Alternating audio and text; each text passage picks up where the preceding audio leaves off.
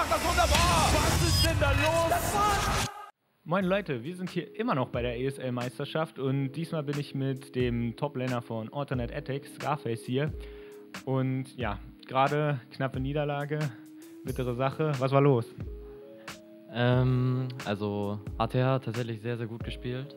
Ähm, sie haben vor allem mit dem Cockmore in Game 2 und 3 echt, also sie haben sehr gut um den rum gespielt.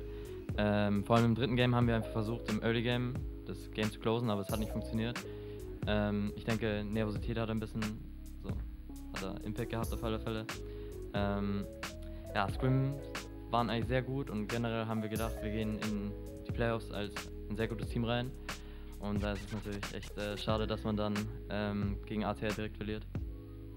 Was habt ihr euch, also das interessiert uns bestimmt alle, was habt ihr euch bei dem Lux-Pick gedacht? Der ist ja dann doch eher unkonventionell bis jetzt gewesen.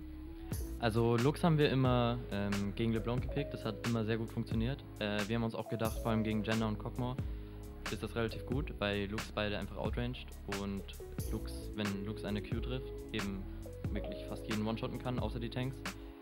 Ähm, ja, hat nicht so gut geklappt, war ein bisschen schade, aber so generell denke ich, war das auf alle Fälle ein guter Pick.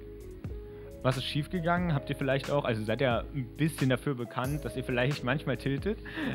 Seid ihr ein bisschen getiltet gewesen an einem bestimmten Zeitpunkt? Oder? Nein, also wir waren eigentlich äh, als Team immer konzentriert, wir haben unser Bestes gegeben.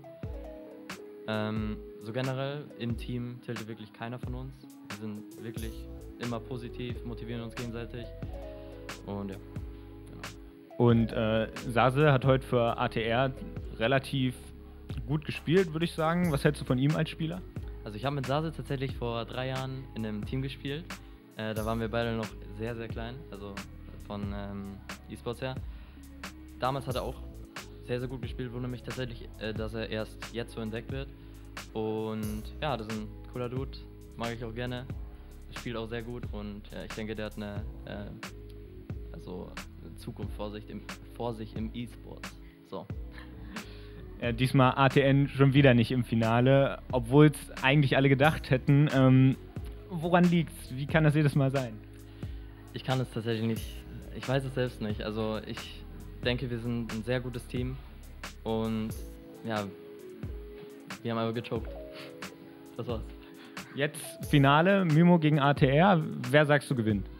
Also ich denke, also Maimo hat ja tatsächlich heute nicht so gut gespielt gegen ESG, aber das liegt auch daran, dass Quicktimer zwei Wochen im Urlaub war. Und Quicktimer ist normalerweise wirklich ein Spieler von Maimo, der wirklich manchmal einfach das Game alleine carried. Und ich denke, dass er für die Gamescom sehr gut vorbereitet sein wird und Maimo generell auch. Und ja, ich denke, dass Maimo das gewinnen wird. Und Maimo, die haben ja schon ein LCS-Team, deswegen geht es ja so gesehen nicht. Aber meinst du, die hätten auch das Zeug, in die Challenger Series zu kommen? Irgendwann?